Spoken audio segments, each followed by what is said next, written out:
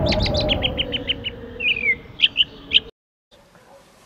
Az Alcea rosea, a festő májva vagy májva rózsa, igazából egy ilyen fantasztikus méretű növény, úgyhogy én azt gondolom, hogy az, aki ilyen régi vágású, romantikus parasztikertet szeretne, akár egy ilyen városi előkerbe, akár egy utcafrontra, akár csak a hátsó kertjét szeretné tényleg ilyen paraszti világot idézően berendezni, annak mindenképpen ezt a májva rózsát érdemes beszereznie. Itt ezeken a példányokon a szárazság, illetve a különböző rozsdabetegségeknek a tünetei mutatkoznak, tehát ezek picikét megsínlették most az elmúlt időszaknak a, a száraz időjárását. Ugye maga az ápolás az megegyezik egyébként azzal, hogy ezeket a száraz leveleket folyamatosan eltávolítjuk. Valójában nem egy túl vízigényes növény, az öntözést azt meghálálja, inkább egy ilyen mély rétegű, humuszban gazdag, laza talajban tud igazán jól fejlődni. Egyébként hát bírja a szárazságot, csak az extrém szárazságot nem.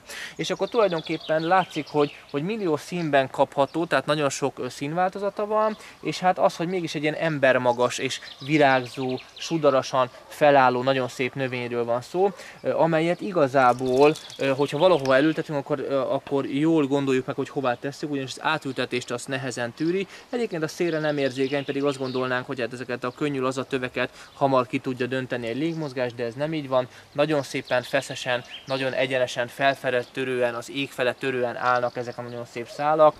Tehát a májvarózsában, aki gondolkodik, az fontolja meg, hogy olyan helyre ültesse, ahol biztosan a végleges helye van, és amennyit csak tudja, öntözze, illetve a tápanyag utánpótlásról se feledkezzen el.